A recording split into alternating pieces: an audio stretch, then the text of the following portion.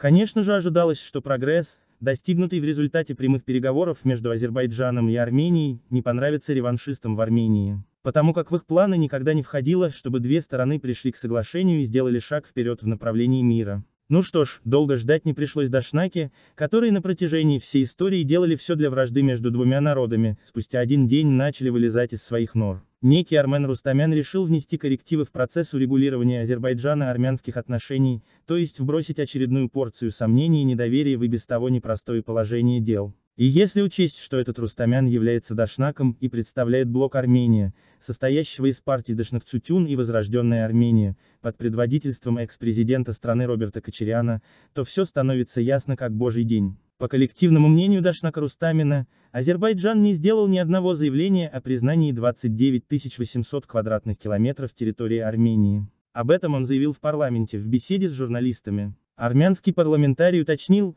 что он не слышал ни об одной уступке со стороны Азербайджана, в то время как Армения постоянно уступает в одностороннем порядке. Странно, что Рустамян выступил с такими измышлениями на следующий день после того, как Азербайджан и Армения распространили совместное заявление. Совместное, а не одностороннее. И в качестве подтверждения своих намерений Азербайджанская республика освободила 32 армянских военнослужащих. Что это как не уступка? В ответ на этот жест доброй воли Республика Армения совершила аналогичные действия в отношении два азербайджанских военнослужащих. Но похоже, Дашнак из парламента Армении недоволен. Переговоры между двумя странами могут состояться после того, как азербайджанские войска будут выведены с армянских территорий, настаивает Рустамян и называет цифры. Об этих 200 квадратных километров, находящихся под контролем Азербайджана, твердил еще глава МИД Армении Арарат Мирзаян. На что всегда есть, что возразить не правда ли? А Дашнак и министр не забыли случаем о семи контролируемых Арменией селах Газавского района и селе Анклавинах Чуванской автономной республики.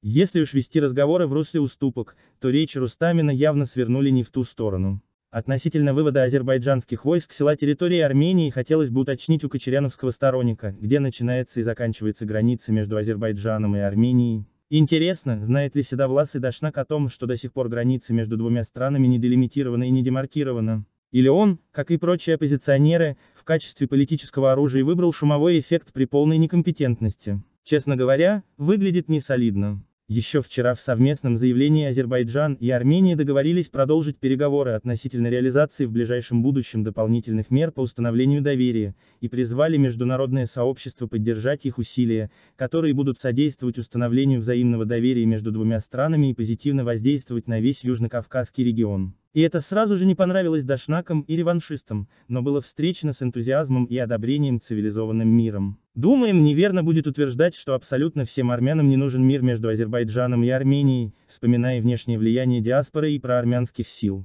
Но справедливо будет отметить, что внутри самой Армении никак не унимаются дашнакские выкормыши, мечтающие о мести за провал МИИЦЕОМа.